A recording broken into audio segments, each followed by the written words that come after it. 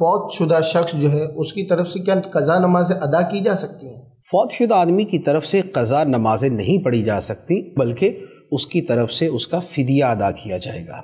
हर नमाज़ के बदले में एक फ़िदिया होगा। एक दिन के अंदर पाँच फ़र्ज़ नमाजें हैं और एक वितर की नमाज़ है तो टोटल बन गई छः नमाजें। छः नमाज़ों का फ़िदिया दिया जाएगा। तो ये गोया रोज़ाना की छः नमाज़ें बन गई।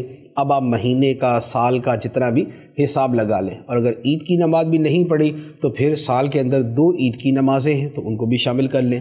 तो ये जो शख्स फौत हुआ, उसके वरासा, उसकी तरफ़ से फ़िदिया दे सकते हैं, लेकिन उसकी तरफ़ से नमाज़ नहीं पढ़ सकते।